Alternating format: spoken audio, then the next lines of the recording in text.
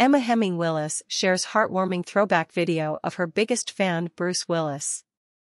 Two weeks after Emma Heming Willis announced that Bruce Willis has been diagnosed with frontotemporal dementia, the CocoBaba founder resurfaced an old video of the actor showing her support.